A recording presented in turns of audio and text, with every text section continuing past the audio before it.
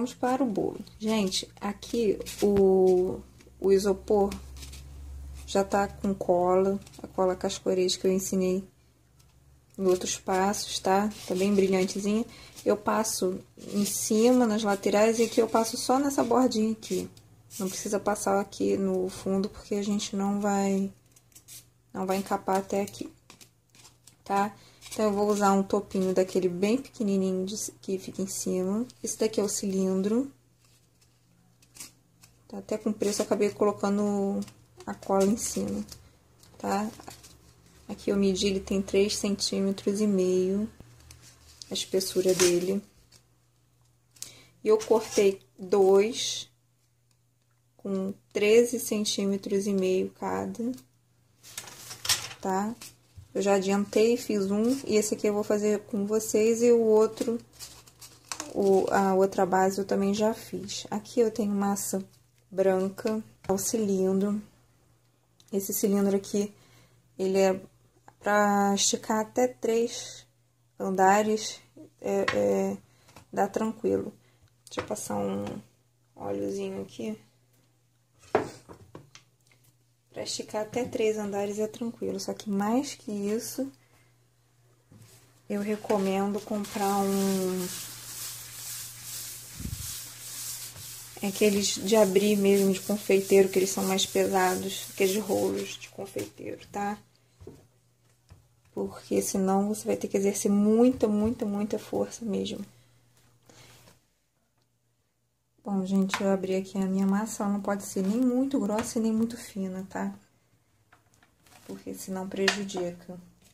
Eu vou colocar aqui num, num, uma basezinha maior, aqui no caso estou usando um copinho de sobremesa, para depois a gente poder descer essa massa. Então, eu vou cobrir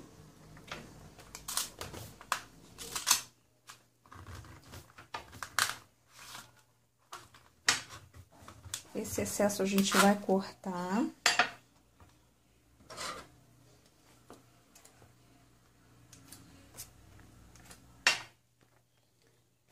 Essas imperfeições que estão aqui no finalzinho, a gente vai alisando ao máximo, depois a gente faz com a um rolo, tá? Por isso que se for, se a massa estiver muito fina, depois não dá pra fazer é, passar rolo tal, que senão ele vai começar a ficar extremamente fino. Então, por isso a gente já deixa, já coloca aqui ela um pouco mais grossa. Alisar essas partes que estão com a marca.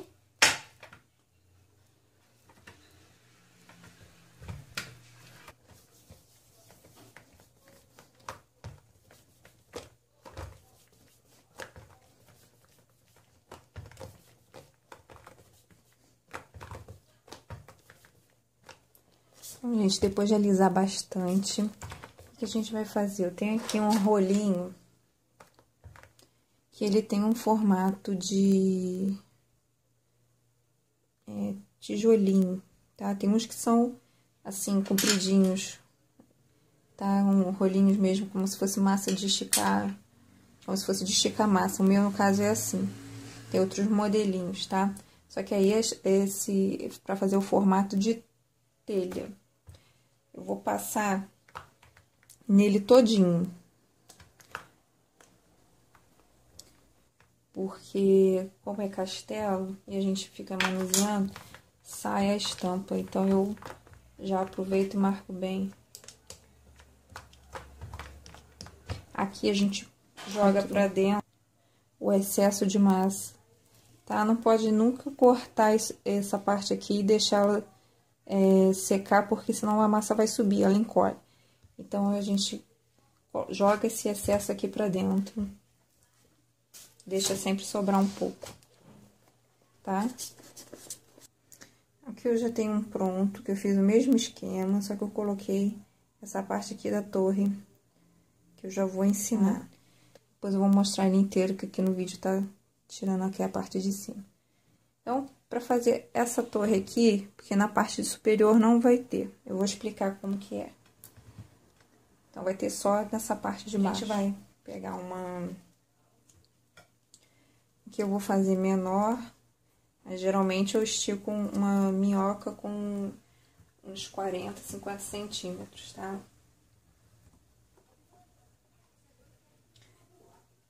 vai esticar não muito fina nem muito grossa. Lembrando que é entre 40 e 50 centímetros, nessa espessura mais ou menos. vou esticar com o rolo. Não, não posso esticar ela muito fino.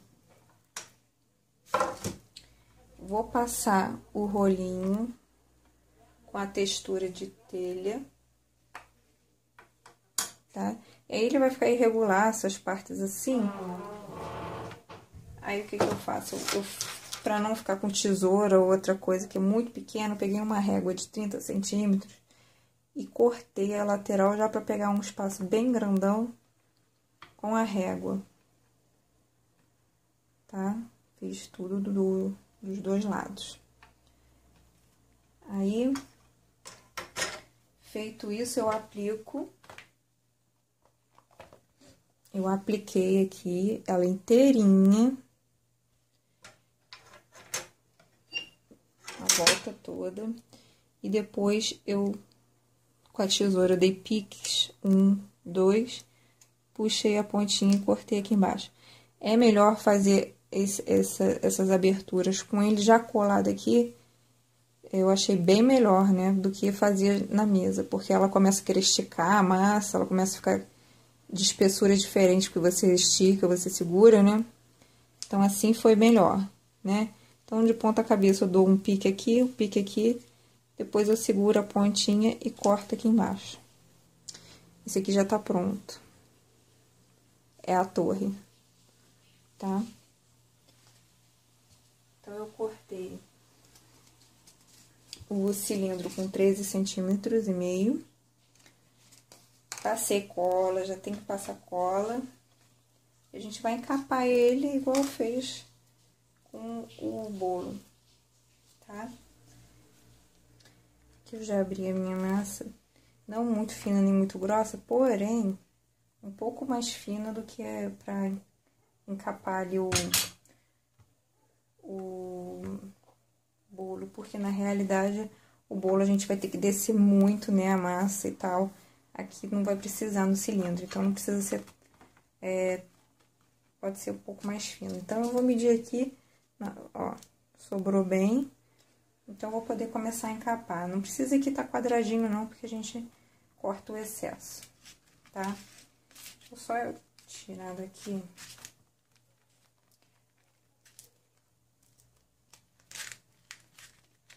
Começar a encapar.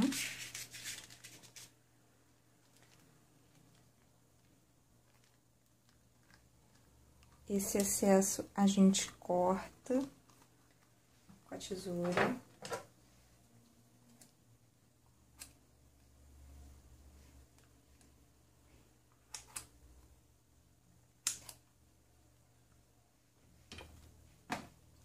Aqui tira um pouquinho, mas deixa uma bordinha para poder capar. Aqui corta mais uma bordinha mas deixa um pouquinho para poder encapar. Vou pegar uma esteca aqui assim, que é de um caninho. Vou começar a encapar. Aqui eu acho que vai sobrar ainda bastante massa, então eu vou cortar.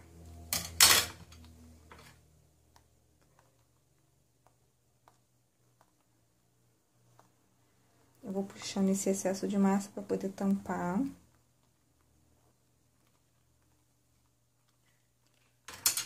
Aqui eu vou... Também acho que vai sobrar muito, então eu vou cortar.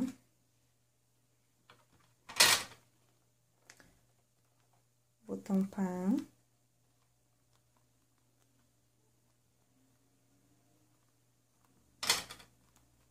Nesse momento agora não precisa estar tá perfeito, que a gente ainda vai estar só tampando. Eu vou fechar a emenda. A gente pode rolar um pouquinho na mesa também para tirar as marcações.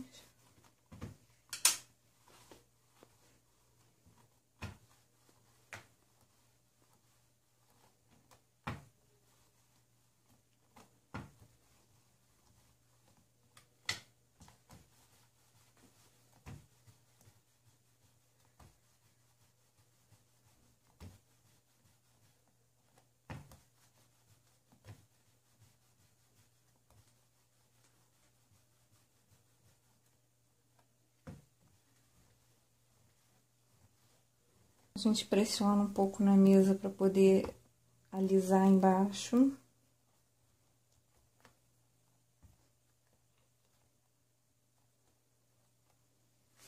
Tá? Não precisa estar tá tão perfeito, mas tentar alisar o máximo possível. E a gente vai passar o rolinho.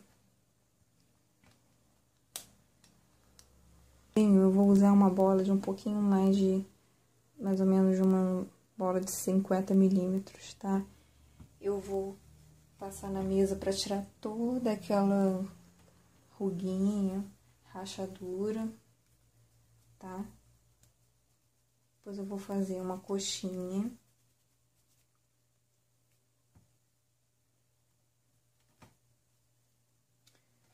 Com o boleador, eu vou abrir aqui uma cavidade. Vou terminar de abrir com a ponta do dedo.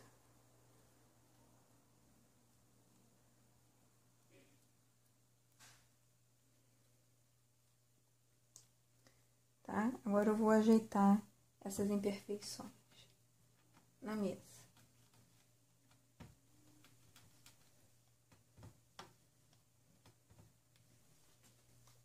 Vai ficar assim, tá? Agora eu vou fazer um coraçãozinho com, usando molde de silicone. Eu vou usar esse, esse coração maior com a massa rosa claro, mesmo que a gente fez o vestidinho, tá? É, reforcei a marcação aqui. Vou pegar um pouquinho de cola instantânea. Pode ser bem pouco, não precisa ser nada muito e vou fixar. Agora com um pedacinho bem pequenininho, posso abrir até na mão mesmo. Ó. A gente achata bem fininho. Eu vou fazer uma bandeirinha.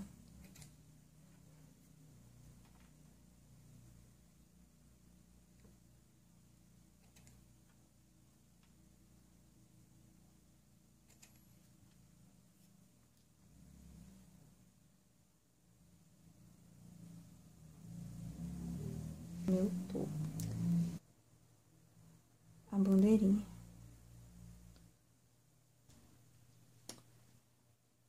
Bom, gente, agora a gente vai fazer a porta do nosso castelo, que é uma tampa de cotonete, aqueles cotonetes Johnson Johnson que vem em potinho. Tô usando essa tampa. Abri um pedacinho pequeno de massa, tá? E vou cortar. Deixa eu ver se eu um bom ângulo aqui.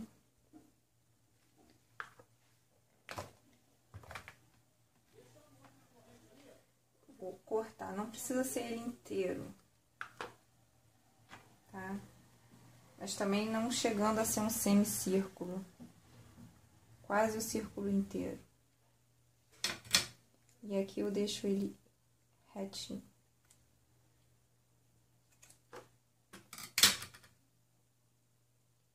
As rebarbas a gente ajeita, tá? E agora a gente vai colar.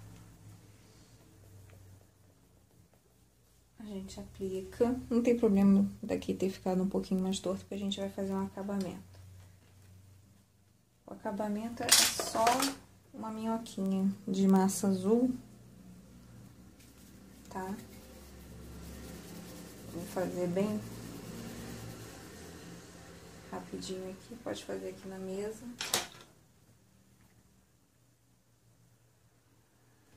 Rente.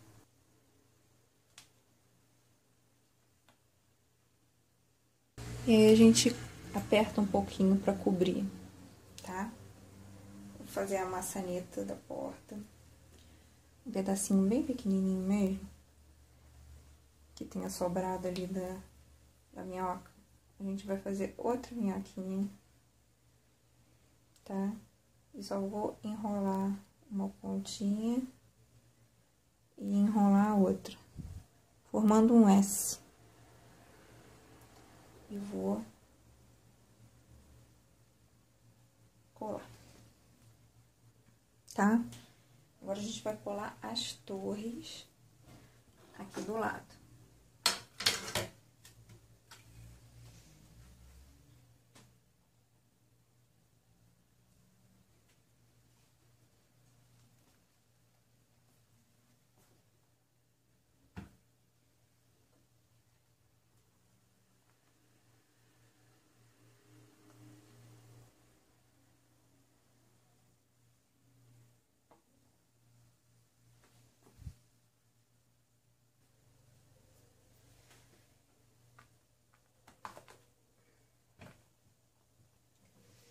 Então, gente, eu fixei com cola instantânea. Na realidade, eu coloco aqui, tá?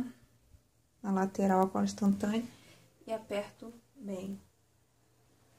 Tá ok? Agora,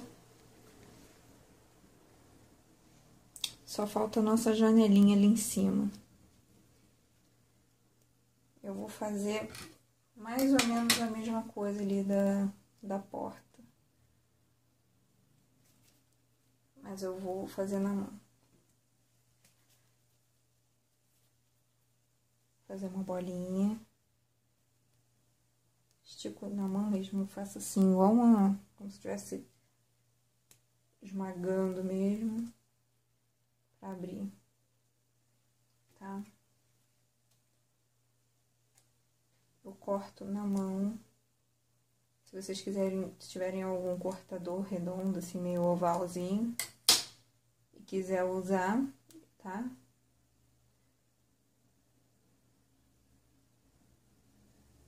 Aí a gente ajeita aqui as rebarbas.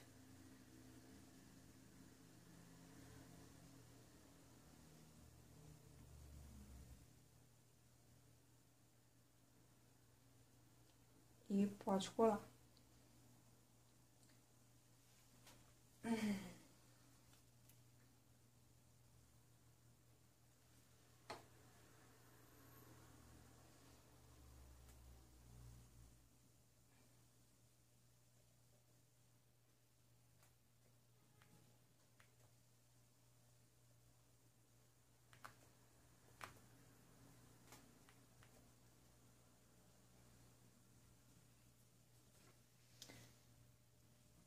Essa janela aqui da torre, eu vou marcar com uma régua.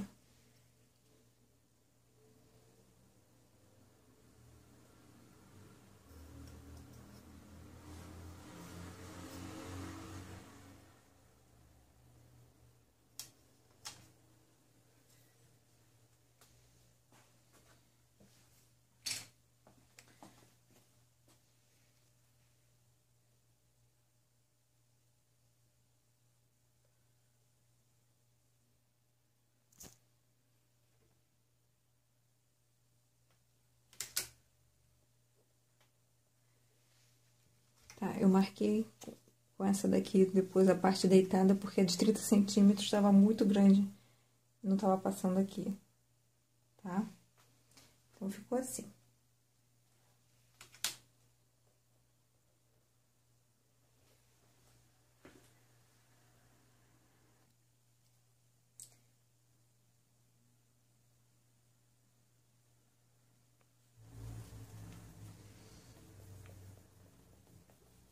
Gente aplica. Não tem problema daqui ter ficado um pouquinho mais torto, porque a gente vai fazer um acabamento. O acabamento é só uma minhoquinha de massa azul, tá? Vou fazer bem rapidinho aqui, pode fazer aqui na mesa.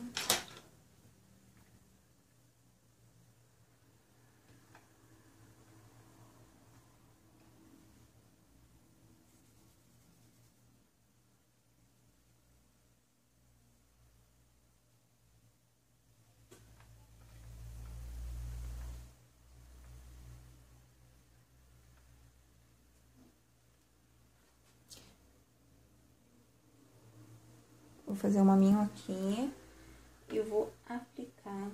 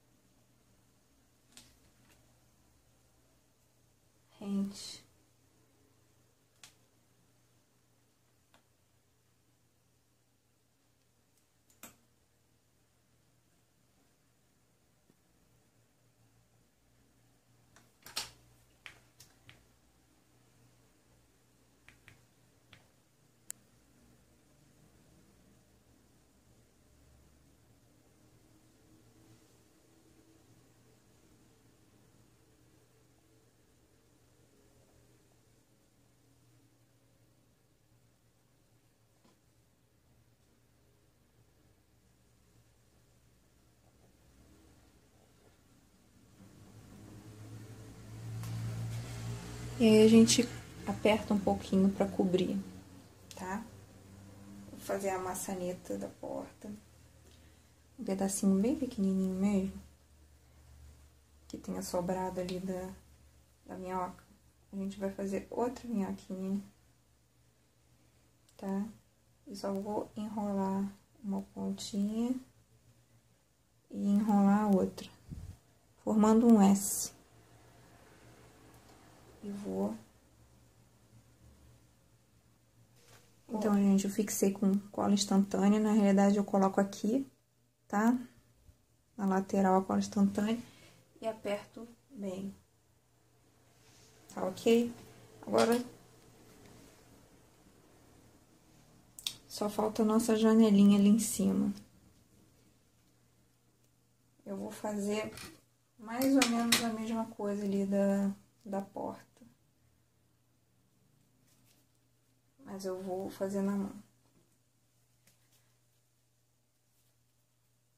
Fazer uma bolinha estico na mão mesmo, faço assim, igual uma. como se estivesse esmagando mesmo, pra abrir, tá?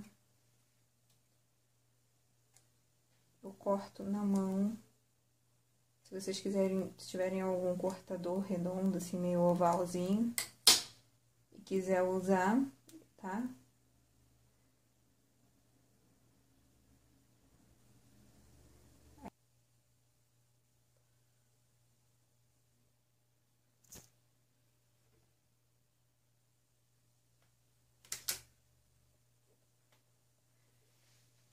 Tá, eu marquei com essa daqui depois a parte deitada, porque a de 30 centímetros estava muito grande, não estava passando aqui, tá? Então, ficou assim.